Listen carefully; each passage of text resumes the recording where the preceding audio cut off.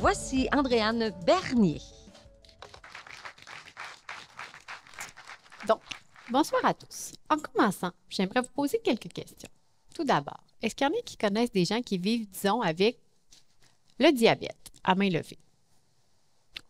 Oui, qu'on connaît ou que ce soit soi-même.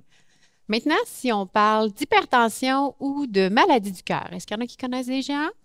Oui, quand même.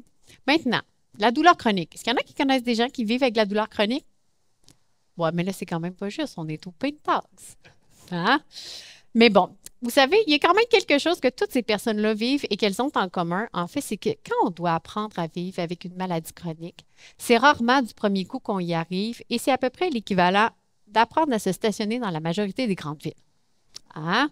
Ici, on se demande de quel côté on peut aller, combien de temps on peut rester, est-ce que ça me prend une vignette? Et là, j'ajoute même pas la tempête de neige dans tout ça. En fait, moi, je suis infirmière en GMF depuis 12 ans, on l'a dit, et j'accompagne des personnes qui vivent avec des maladies chroniques tous les jours. Et c'est ça que je remarque. En fait, tout le monde veut être en santé, même les personnes qui vivent avec des douleurs chroniques ou des maladies chroniques. En fait, ces personnes-là sont souvent à la recherche de solutions pour être capables d'intégrer les traitements qu'elles ont à prendre tous les jours ou à faire tout ça en essayant de garder une qualité de vie satisfaisante. Ben, c'est la même chose en douleur chronique. En fait, pour être capable de gérer la douleur tous les jours ainsi que les symptômes qu'elle occasionne, les personnes doivent apprendre à combiner différentes approches de traitement, que ce soit physique, psychologique ou pharmacologique. En fait, les personnes sont à la recherche de leur vignette de stationnement personnalisée. Là, en dehors du Pentax, la douleur chronique, c'est quand même moins bien reconnu que d'autres maladies chroniques. Et moi, je suis tombée sur une étude qui me fait comprendre l'ampleur de ce que ça occasionne sur le système de santé ainsi que la société.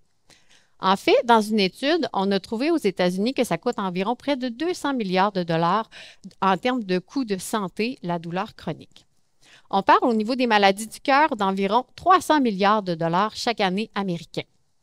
Mais quand on parle de la douleur chronique, en fait, c'est 600 milliards de dollars environ par année que ça coûte au niveau des États-Unis. Ça, en incluant les, euh, coûts sur euh, les systèmes de santé ainsi que la perte de productivité au niveau de la société occasionnée par la douleur. Si on fait le même calcul au niveau du Canada, on arrive environ à 40 milliards de dollars par année. En fait, ça semble beaucoup moins, mais si on regarde toute proportion gardée entre les deux populations, c'est quasiment la même facture. Alors, vous comprenez que euh, moi, comme professionnel de la santé, je me suis posé des questions parce qu'on l'entend partout. Le système de santé déborde et il faut trouver des solutions. Mais des solutions, en fait, on entend aussi dire que ça passe par la première ligne. Donc, comme infirmière de GMF, j'ai pensé que nous, on pouvait s'impliquer pour aider à la gestion de la douleur chronique. Parce que oui, les infirmières ont fait partie de la solution. D'ailleurs, on est les seuls professionnels de la santé avec les médecins à être capables d'intégrer l'évaluation de la condition physique et de la condition mentale des personnes. Ça veut dire l'ensemble de la santé d'une personne. Et ça, c'est essentiel pour être capable d'intégrer l'ensemble des traitements et de coordonner tous les soins que la personne a besoin en équipe avec les autres professionnels de la santé. Les infirmières, on est aussi grandement sollicités pour aider à développer des compétences d'autogestion. Et là, pour vous montrer ce qu'on peut faire, en fait, je vais faire deux exercices avec vous ce soir. Premièrement, il y a à peu près juste au Québec, sur nos routes, qu'on peut faire ceci à cela dans la même journée. Hein? Vous êtes d'accord avec moi? Ce que je veux que vous reteniez dans cette image-là, à vrai dire, c'est que l'eau, c'est comme le changement ou c'est comme apprendre une nouvelle chose dans la vie. On peut passer à travers différentes phases. Hein? L'eau, ça peut être liquide, ça peut être solide, ça peut être gazeux. Le problème avec les changements, même si on doit passer à travers toutes ces étapes-là, c'est que les études nous disent qu'on peut reculer et refaire des rechutes trois à quatre fois entre chacune de nos phases de changement. Donc, c'est un petit peu décourageant. Je vous ferais penser à l'inscription au gym. Hein? Entre faire du gym puis s'inscrire, c'est deux choses. Mais c'est là que les infirmières, nous, on peut intervenir pour faciliter la transition entre ces différentes phases. Autre chose que je veux vous montrer. En fait, au niveau de votre motivation, c'est la différence entre ce que je veux et ce que je peux. Qui est intéressé, zéro du tout, cinq, à me suivre à cette destination paisible pour un week-end tranquille? Hein, est-ce que vous êtes intéressé? Oui, cinq. Tout le monde a le goût. Parfait. Maintenant, qui se sent capable de me suivre pour s'y rendre entre 0 et 5? Hein, est-ce que c'est aussi facile? Ah, oui, quand même, les gens. Parfait. En fait, la différence entre ce que je veux et ce que je peux, c'est l'équivalent du sentiment d'auto-efficacité d'une personne. Ça, c'est la croyance que la personne en elle-même, elle est capable de mobiliser ses ressources à elle et les ressources autour d'elle pour entamer des changements et les maintenir dans une vie. Donc, les infirmières, on peut aider aussi à augmenter ce sentiment-là en fixant des objectifs réalistes et en aidant la personne à trouver ses stratégies.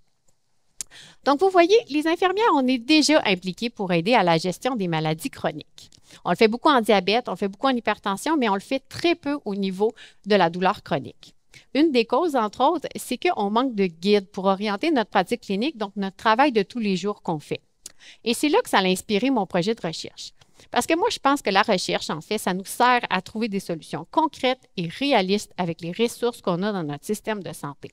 Et pour ça, il faut le faire en partenariat, il faut le faire pour et avec les personnes concernées. Dans mon cas, ce sont les infirmières en GMF et les patients qui vivent avec de la douleur chronique. D'ailleurs, dans mon projet de recherche au doctorat, je suis accompagnée par deux patientes partenaires et ça depuis le début du processus. Ensemble, ce qu'on veut faire, c'est deux étapes. Premièrement, on veut aller sonder des infirmières et des patients qui vivent avec de la douleur chronique qui consultent dans des JMF pour voir avec eux et qui nous disent en fait quelles sont les activités qu'ils jugent le plus important à faire pour aider une personne à mieux gérer sa condition douloureuse au quotidien.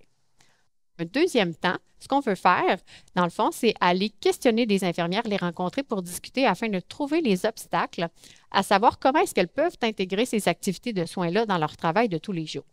Les retombées, en fait, ça va être de créer des outils pour que les infirmières, d'une part, puissent avoir un guide, justement, pour orienter leur pratique dans leur rendez-vous de tous les jours. Et pour les patients, en fait, c'est d'apprendre à connaître que l'infirmière peut les aider dans leur autogestion de leur douleur, parce que peu d'entre eux savent que l'infirmière peut être impliquée en matière de douleur. Donc, vous voyez, à mes yeux, les infirmières sont une richesse, une richesse immense pour notre système de santé. Par leurs interventions éducatives, les infirmières visent à développer le plein potentiel des personnes. Elles visent également à leur redonner du pouvoir sur leur santé. Parce que, comme le disait Nelson Mandela, l'éducation est l'arme la plus puissante qu'on puisse utiliser pour changer le monde. Qu'en pensez-vous?